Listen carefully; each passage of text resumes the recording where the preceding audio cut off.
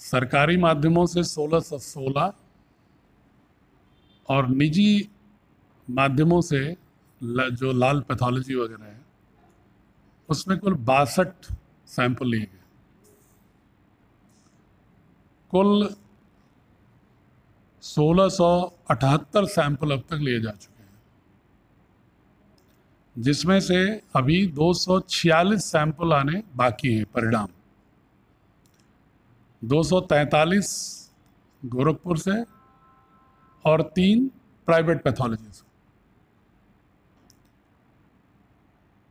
Government से तेरह सौ तिहत्तर कुल परिणाम आए,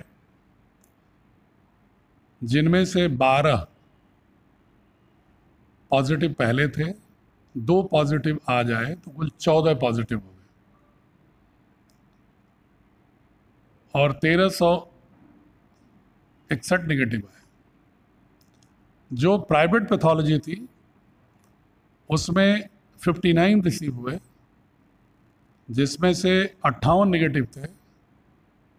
एक प्रकरण जो दिल्ली का आज़ाद मंडी में पॉजिटिव आया था, लाल पैथोलॉजी का जो राजकीय मेडिकल कॉलेज में इलाज के लिए था, वह उपचारित होकर के घर भी वापस चला गया है।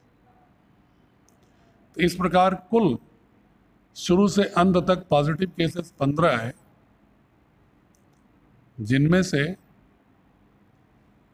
एक की दुर- दुर्भाग्यपूर्ण ढंग से मृत्यु हो गई थी, जो मुंबई से तेरह को आए थे, चौदह को एडमिट हुए थे। इसके अलावा